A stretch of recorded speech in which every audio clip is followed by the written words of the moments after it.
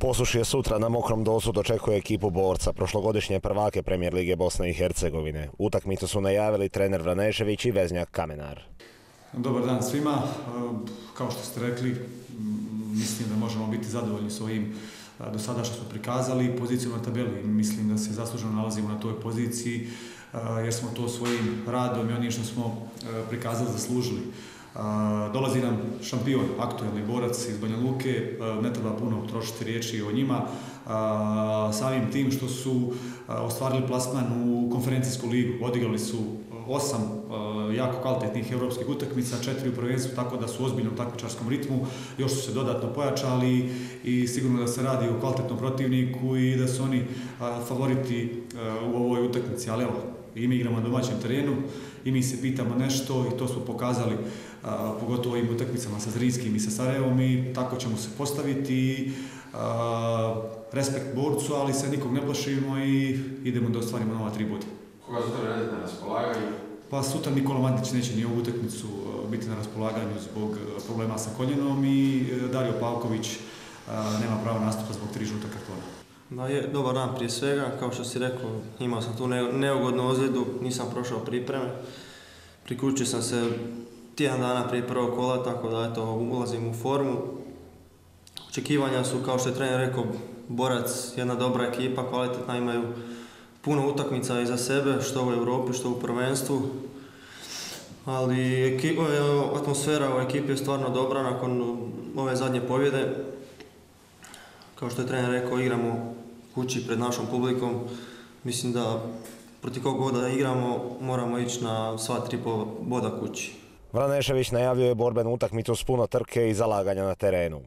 Pa sam se rekao da se dobro poznajemo i sigurno ti znaš kako možemo očekivati posuše, a to je da ćemo dati sve od sebe u toj utakmici, da na kraju kažemo sebi, da se pogledamo da kažemo dali smo sve od sebe.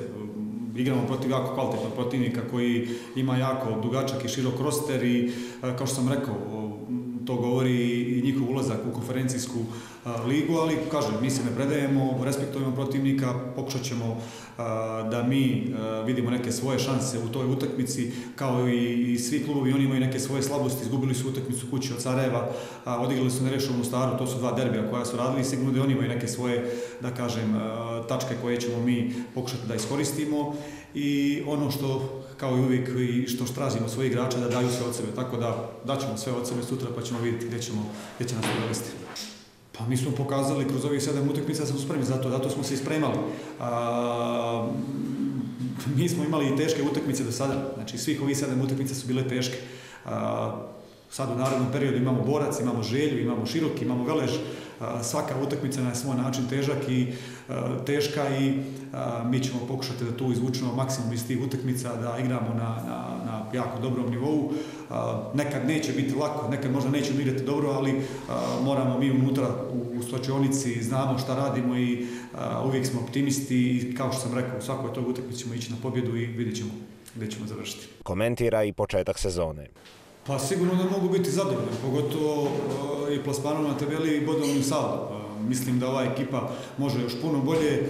Tu smo evo, neka dva i pol mjeseca zajedno, pratio sam posuše i prije nego što sam došao ovdje, imao sam neku sliku o njima, ali tek kad dođete u klub i kad počnete da radite s tim igračima i trenirate, onda vidite još tu bolju, imate pravu sliku o njima svima i mislim da ova ekipa ima još puno prostora za napredak, ima tu dosta i mlađih igrača i neki igrači koji nisu imali toliko minutažu prošle sezone, sad su tu, bit će tu nekih uspona i padova sigurno, ali evo, generalno jako sam zadovoljan i klubom i, i, kako klub funkcioniše i, i sa organizacijom i sigurno da je ovo klub, da je ovo klub koji raste iz dana u dan i sigurno da će posuše biti još bolje i, i, i da će biti jedan stabilan premijer ligaš. U jakoj konkurenciji premijer ligaša nada se da će posušje i ove godine iskočiti. Pa ima još puno utakmica da se igra.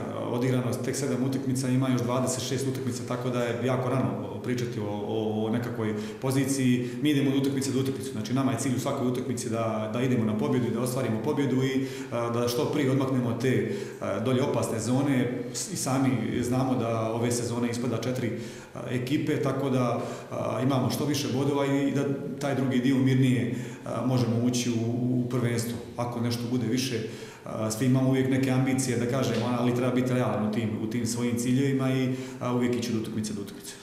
Rekao si sam, izuzetno zahtjevna sezona, možda zahtjevnija nego ikad u Premier Ligi Bosne i Hercegovine, zato što ispali u četiri kluba. Kako vidiš ove klubove koji su se do sadašnjih godina onako držali vrha tablice, mislim konkretno na Sarajevo, Borac, Zrinski i tako dalje?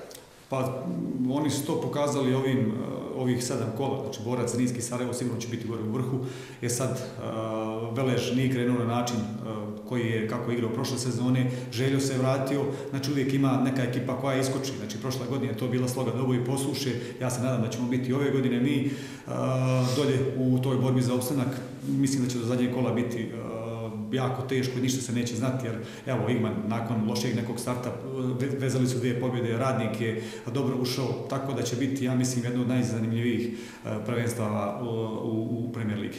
Komentirao je nedavno izgubljenu utakmicu za zelenim stolom, ali i sličnu situaciju u Sarajevu. Pa to je bilo pitanje na prošloj konferenciji pred utakmicu s radnikom. Mi smo tu utakmicu napravili grešku i to je činjenica i platili smo ceh tu i da smo dobili utakmicu, izgubili bi zelenim stolom, ali mislim da odluka koja i, i, ta stvar koja se desila u Sarajevu, mislim da je ispravna, ispravno odlučena, jer ne možemo mi treneri znati da li će naš bonus dobiti crveni karton i da li će se neko povrijediti, jer sigurno da bi morali onda jednu izmjenu uvijek ostaviti da nekog mijenjamo mlađeg tog igrača, ali mislim da je savjez donio jako dobru odluku. Po mom mišljenju trebaju dopuniti taj, taj član koji, u kojem piše ovaj, da bonus mora biti 90 minuta, da se mora dopuniti u slučaju tih nekih nepredviđenih stvari, ali mislim da je odluka ispravno donešena. I za kraj poziva navijače na mokri dolac.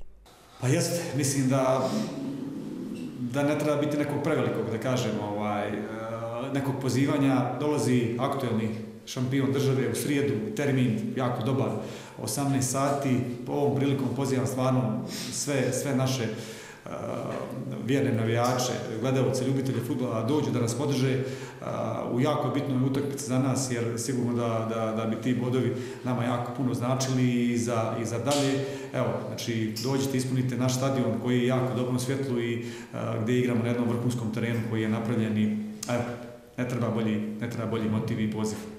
U okviru osmog kola Vevin Lige Bosne i Hercegovine trenutno drugoplasirano posušuje sutra od 18 sati dočekuje sedmi borac prošlogodišnje prvake, koji u ovom trenutku imaju tri utakmice manje.